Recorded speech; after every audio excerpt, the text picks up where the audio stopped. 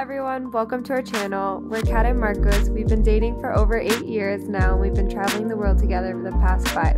We've visited over 10 countries together and have learned so much throughout our travels. We're starting this channel to help educate you guys on the best places to visit, our guides on the top must see spots in specific places, and so much more.